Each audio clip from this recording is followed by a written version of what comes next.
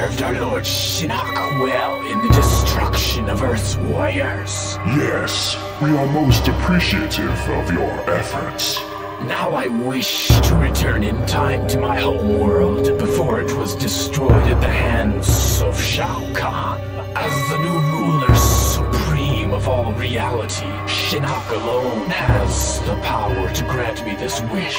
You dare make such an impetuous request from your lord and master? It is a simple request for one of such great power. It is also not worth his attention. I demand it if it were not for warriors such as myself.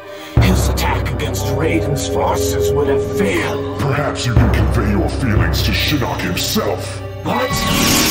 Infidel! You are in no position to demand anything. I could kill you with a mere thought.